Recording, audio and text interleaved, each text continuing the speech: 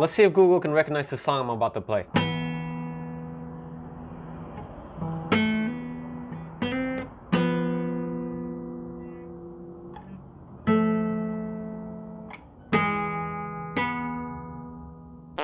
Unable to find a match? Come on, dude.